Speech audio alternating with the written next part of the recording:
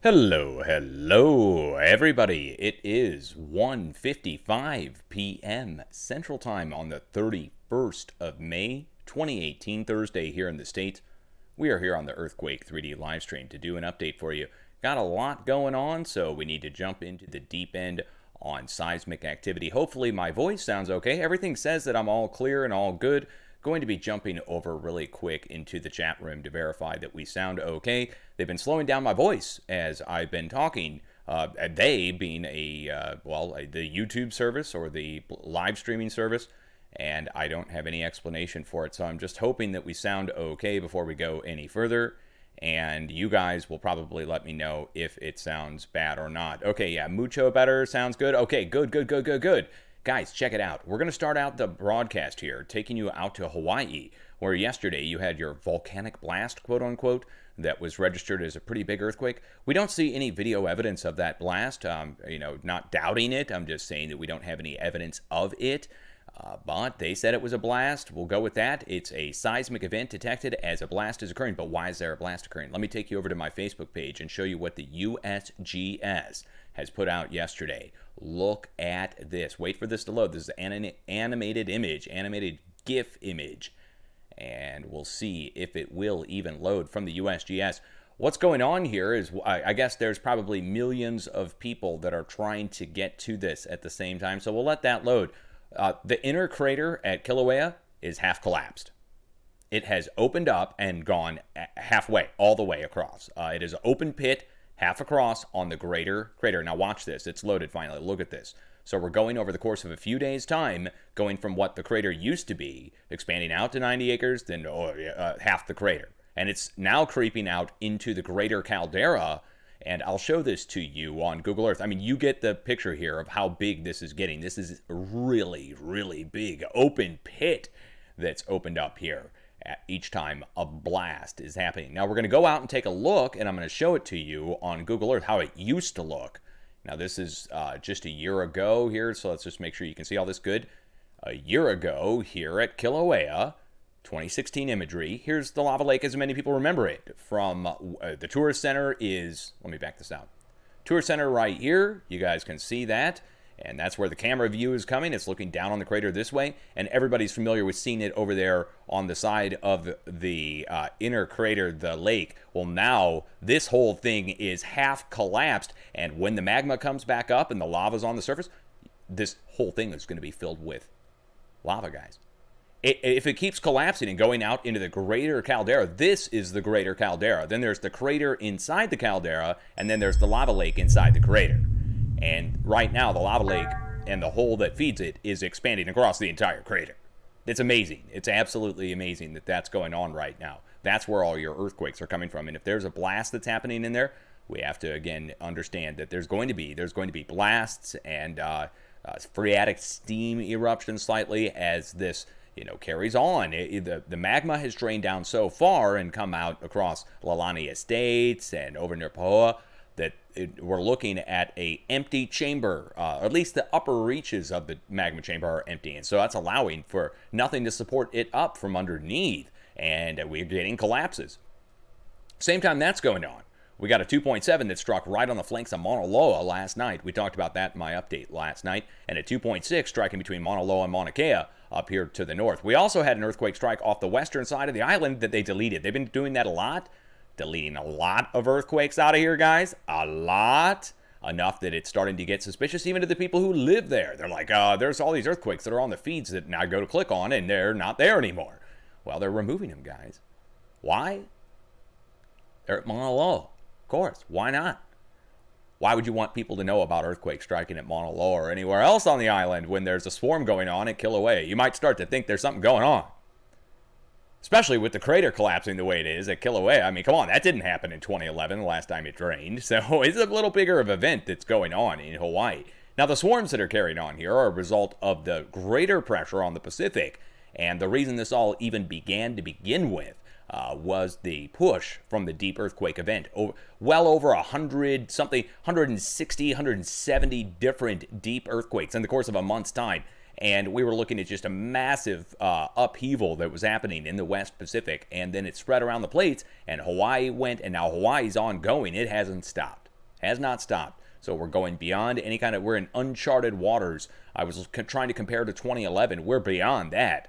So in 2011, a few days before the Japan megaquake, same thing happened in Hawaii. And it looks like now it's just going to be a longer going, a longer event, bigger, and we have to see if it's going to spread to the other volcanoes. That's why I'm watching, and I want you guys to watch too. Now, if you go over to the HVO website, which we probably should do, I encourage you guys check the HVO website. They've got down to earth descriptions of what's going on. It's not like you're getting these updates from the you know YouTube freak job. Uh, every, everything's coming to an end updates kind of thing. So go over and check their their updates. Now they did elevate Mauna Loa up here on the list. It's appeared here in the last couple days with a yellow advisory, just to keep an eye on, as possible shifting could allow for a little bit or a lot um, to take place at the volcano, depending on how much shifting takes place.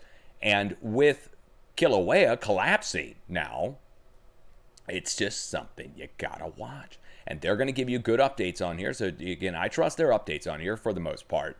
I don't think they're going to tell you anything false. They also might downplay it a little bit, but you can expect that from any government agency. We go down to New Zealand, and we have a new 4.5 that struck earlier on the North Island, and we have a load of threes that are breaking out across the North and South Island of New Zealand as pressure is transferring across the region. Now, speaking of pressure transferring across regions, let's go back over to my Facebook page.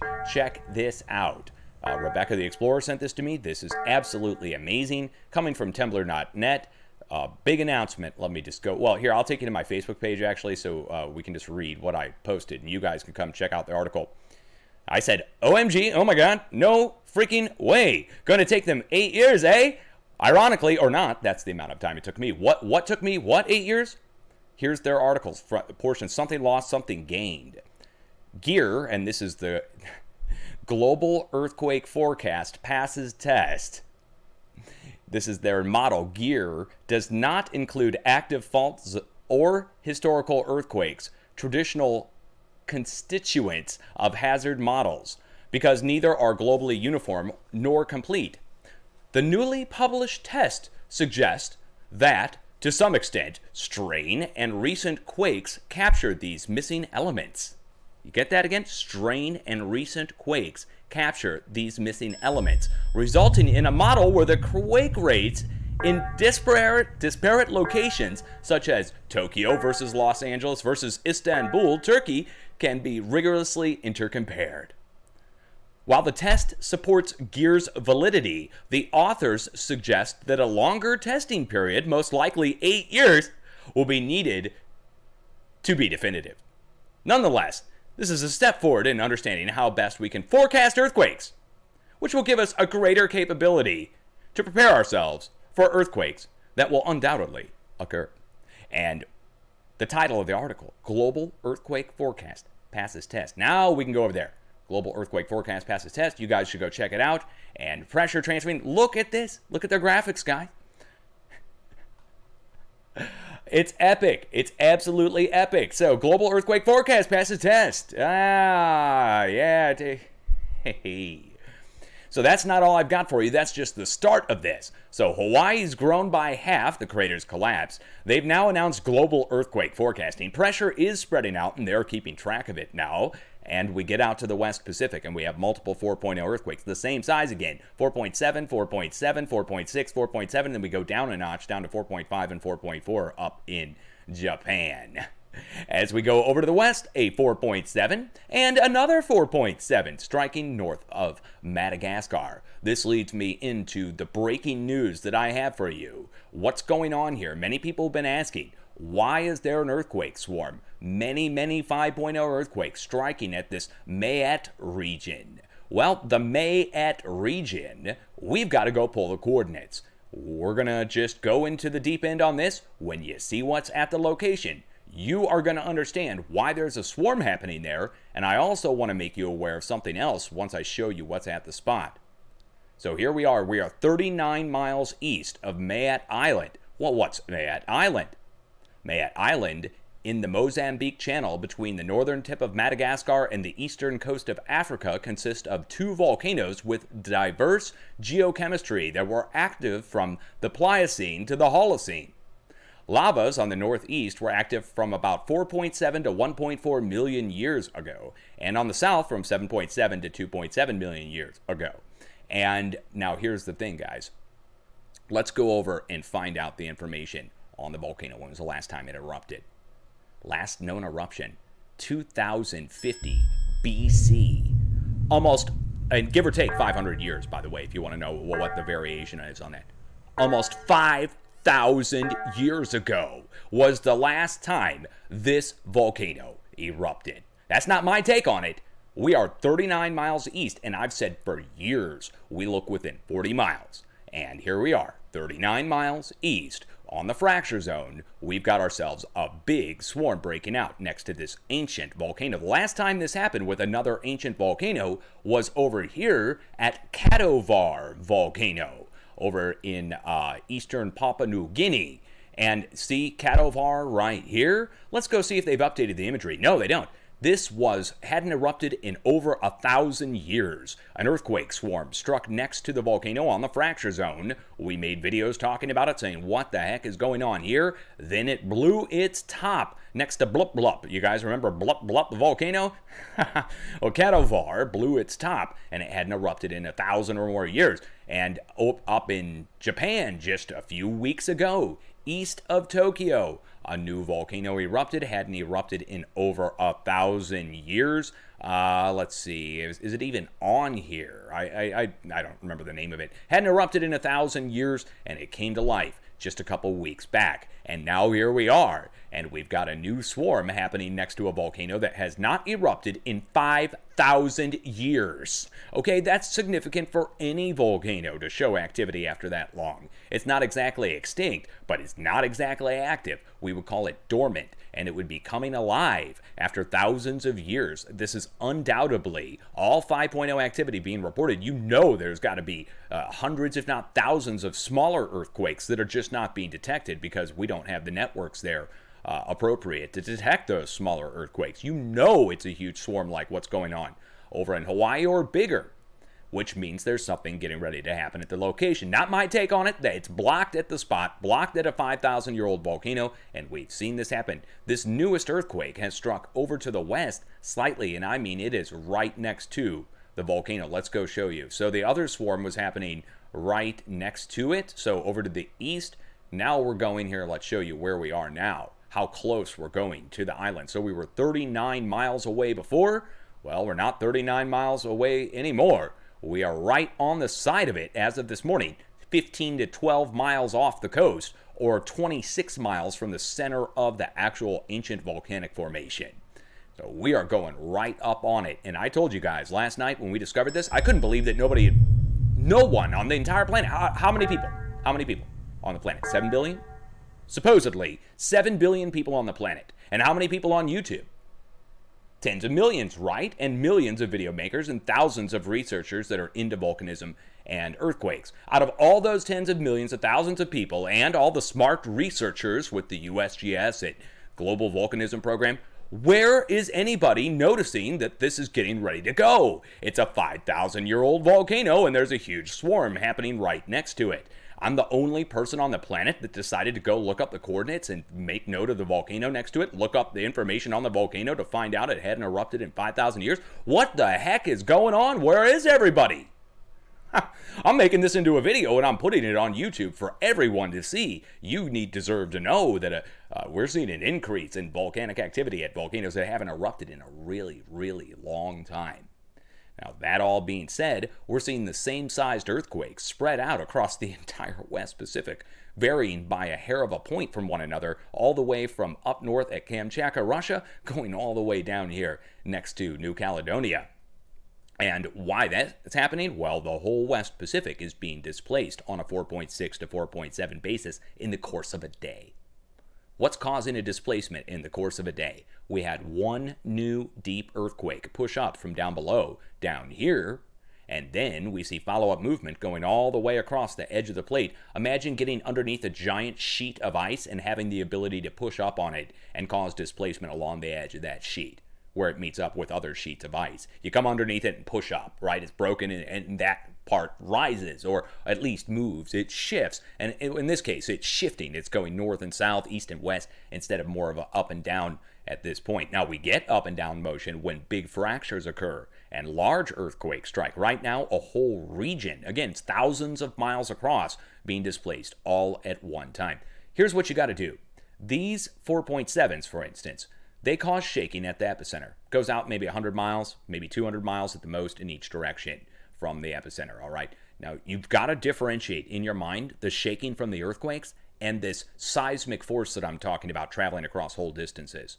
So, this whole area, like a giant storm dropping a bunch of rain over an entire state or an entire county, you see the same amount of rainfall over an entire area within a variation of a few inches of or a few hairs of an inch of one another as a giant storm system passes over and drops a bunch of precipitation on an entire region.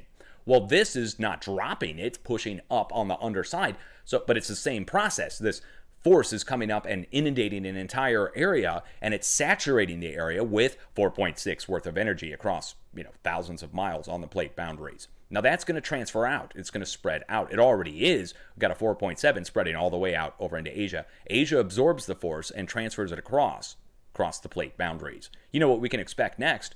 Almost 4.7 activity over in South Europe. That's what we can expect. So that's what you need to watch for. And when it comes to the other activity, let's get into this. Look who else got hit today. We'll talk about Central America, for instance. New earthquake striking right next to Colima volcano here in western Mexico, western central Mexico. We go down to the south, and a swarm of threes breaking out from Popocatépetl volcano going down to Guatemala, probably getting ready to see a new eruption at Fuego volcano. Also, Turrialba volcano surrounded by 3.0 activity of the same size, so the volcanoes have almost the exact same sized earthquake striking around them right now, and Turrialba in Costa Rica right there. Over to the east, right on our arrow, man, right there, 5.2 striking in North Colombia. Where did it come from? We go back a few days. That's all we have to do. We add up all the fours, and they equal 5. This 5.2 is going to be going further over to the east, and I would expect new activity in the Eastern Caribbean and on our letter X in the next couple days. Speaking of letter X's, look who else got hit today Azores and Iceland. Yesterday, we were talking about the Arctic Circle, and I told you who else was left to check off the list. Who else did we name? We said 5.0s in the Arctic Circle, and we said lesser down to the south, right? Well, we got a 4.8 to 5.0. We got a 5.2 to the north, 5.0 to the south, or 4.8. Azores, Iceland 3.0.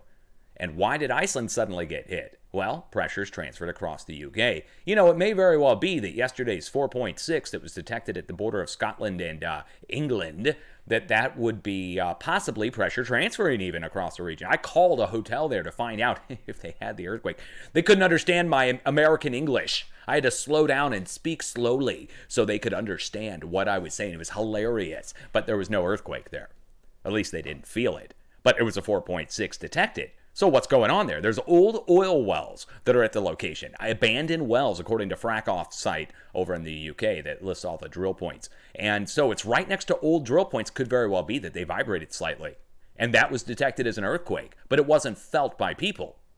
Regardless of that, then right downstream from Scotland today, a new earthquake struck right in the middle of Iceland. And that's normal. That's the way pressure transfers. Portugal, Iceland, Arctic Circle, and it's checked off the list. If you were keeping track of areas that we named, you got to check that one off the list. Now, let's get into the United States. What else happened since yesterday? This is pretty interesting. You know, uh, we always look within 12 hours.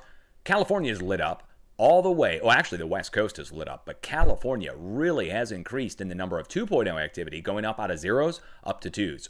That's a hundred, almost to three, 2.8. So that's almost a hundredfold increase in power to come up out of zeros and ones and go up to twos to near threes. And we're going to turn on our 0.0 and greater earthquake feed so we can see all of our smaller events. And this really matters. We need to look at all the small earthquakes to see our swarms. Our swarms tell us where pressure is and where it's getting ready to transfer to. We look for our silent zones in between the swarms. And that being said, look who's swarming. Southern California, right down here, Anza Gap, but look what's happened. One, two, three, four other swarms have broken out on the San Jacinto going into the San Andreas. This is bigger. This is spreading out. there's a diagonal line of quakes as normal, but it's increased in the number, and we're centered like a like a woodpecker pecking on a piece of wood. We are centered at each spot here, and that's an increase. Why is it suddenly increased? Well, we've also seen an increase back at Mammoth Mountain, back at Mono Lake, and up to the north near San Francisco. This time in the Bay. You know, guys, uh, you, you don't. Have, I, I've got viewers in California very picky. Um, when I was showing the earthquake here, uh, southeast of the Bay Area, right here, hopefully you can see my mouse. When I was showing the earthquakes right here, I called this San Francisco and I said it's the Bay Area. And a lot of people corrected me and told me I was wrong and that it's such and such, such and such. Okay, guys, this is San Francisco. This is the Bay. And for everybody else internationally, we don't know your local subdivisions or even your local towns. We look at the area, and everybody knows we're talking about the area just southeast. If I say it's southeast of the Bay Area, it's southeast of the Bay Area. I, even if you live there, it's just like if I say over here in the New Madrid seismic zone, and I'm talking down here um, in Arkansas. Well, New Madrid is 40 miles, 50 miles to the north, but we're down in Arkansas. Why don't I refer to the town name there? You see what I'm saying? So we're just talking about generalized areas. I, we don't need to be too specific about our locations, and, I, and I'm not going to bother to memorize them all either. No way. As we go up to the north, I want you to pay attention to this. Look at this. This 2.4, let's get our USGS information on this in northwest Nevada. Very significant. Why is a 2.4 earthquake very significant? It's the location where the earthquake is striking. When we see earthquakes strike at this spot in northwest Nevada, we normally see activity strike off the coast to the west within days. So, what's at the spot? I mean, why is it happening there? Well, you see all our other place marks. We've had swarm after swarm after swarm break out on the ridge. The ridge is right next to Bittner Butte and Blowout Mountain. Bittner Butte is an ancient volcano. Here's the tuftage on top but we get around to the sides and here's our ancient lava flows stretching out. Now, this must have formed underwater at some point in the past, and there's younger fissures that formed on the sides or flanks of the other volcano next to this. Uh, I don't even have a name on it. It might even be related to the same flow. But anyway, we look at that. There it is. There's Bittner Butte. Blowout Mountain is the greater feature here, and it has. It blew out in the past, and viscous, viscous magma came up at some point in the past. Bittner Butte starts to move and the area next to it before we see new activity strike off the coast. Well, we already saw a 4.2 strike off the coast. And I'm looking for in the upper 5 to lower 6 range to strike. And if they've got guts, they'll report it. If they don't have guts, they won't report it. Now, we've got a lone earthquake reported in Oregon. A single 1.0 earthquake. Finally, after how many months? How many weeks has it been since we've had an earthquake reported out of Oregon? Where is it? It's on the flanks of Mount Hood. Mount Hood is a stratovolcano, and many people don't know about it. They all know about Mount St. Helens to the north and Mount Rainier, okay, Mount Adams even, but most people don't know about Mount Hood. Uh, there it is. It's being struck by a small earthquake, one lone microquake, 1.5. We go up to the north and we have a new outbreak occurring at 28 kilometers north northwest of Packwood, Washington. This comes after yesterday at Mount St. Helens, so we're moving to a new location. We're coming out of the crater at Mount St. Helens. We're going somewhere else. Where are we going? Look, look where we're going. We're going in on the crater of Mount Rainier. So we're going from the crater of Mount St. Helens to the crater of Mount Rainier down below it. And down to the south, we have uh, right next to Mount Hood. And then we get into California and we're at Bittner Butte Volcano. We go due south from there, and we're at Mammoth Mountain Volcano. Let me show it to you. See Mammoth Lakes? Are you seeing a pattern here? Anybody see the pattern? The pattern is all the locations I'm showing you so far, all the earthquakes, every single one I'm looking up is associated right next to a volcano so far. And here we are. So we're right next to Long Valley and Mammoth Mountain. Whitmore Hot Springs is at the location, a geothermal location directly. So we, you know, again, geothermal getting hit. Going over to the west, guess what's right here? The geysers. The geysers is Clear Lake Volcano, and it's a very large volcanic field, Clear Lake, with multiple ancient volcanoes inside of the caldera. We'll show it to you here. Moncontakti, Konocti. But first, we've got our geothermal pumping operations, where there's pipelines. Pipelines go up to our geothermal turbines, where they're providing power for the area and they've drilled into the upper reaches of the magma chambers, which then provide steam to the turbines. Here's Clear Lake and Mount Konocti. And we'll jump back over. That's where this swarm is happening here. Then we get into Napa. We get into our fault zone earthquakes, and they're all small 1.2, 1.4, 1.1, 1.1. This comes out of Napa, goes into the Hayward, then down to the south. We're on the creeping section of the San Andreas where there's next to nothing. Right now, there's next to nothing. That's going to change. It's all about to change over the course of this weekend, I think. And why? Well, the same reason that Southern California is swarming, and the same reason I haven't even talked about this. This here, this lone earthquake out at Coso Volcanic Field. Now, the USGS just lists it at Coso Junction. You have to look it up to see what's there. Let me show you. Picture speaks a thousand words, so let's just save my breath. See this? Let me click on it. See that? See this? Let me click on it. Zoom in. See that? See the name for it? I don't even need to tell you. You can understand why there's an earthquake striking there. We'll go over to the east and we actually get out here into 34 kilometers northeast of Pahrump, Nevada. And Nevada? Nevada? Hey, I'm probably saying it wrong. Come to Missouri. I mean Missouri. And uh, it depends on where you are in the state. They'll tell you it's Missouri or Missouri. So there's Indian Springs, but really what I'm concerned about are the nuclear test sites right here.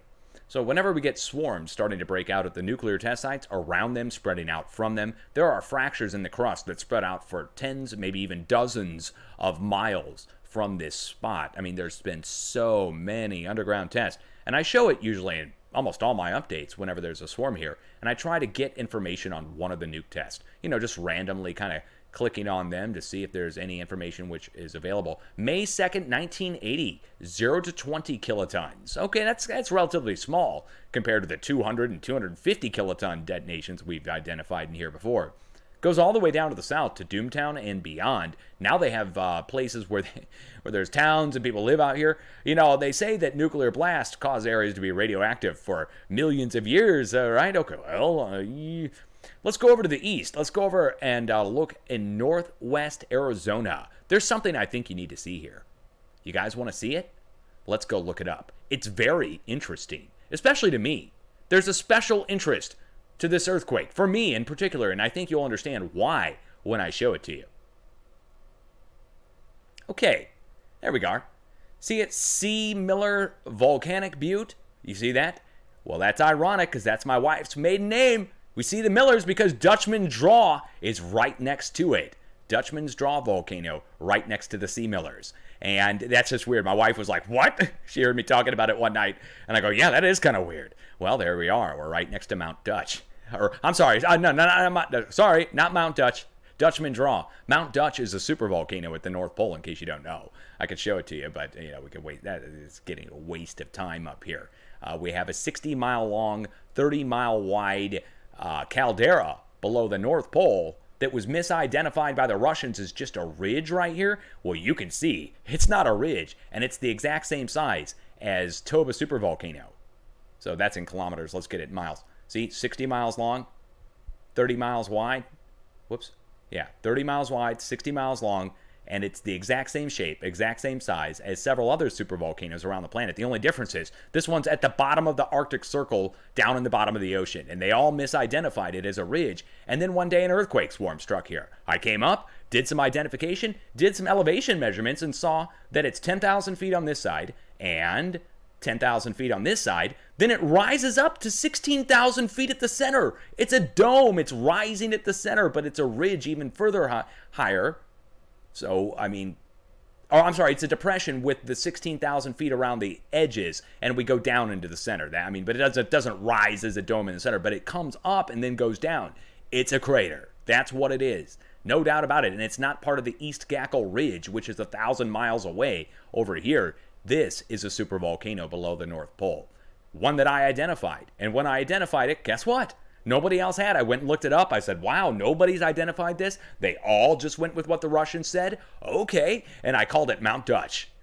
And that's forever going to be. We go to the north of here and we're in southwest Utah. Well, we can just jump right across the border from Dutchman's Draw and I'll show you what's there. Okay, so let's go there.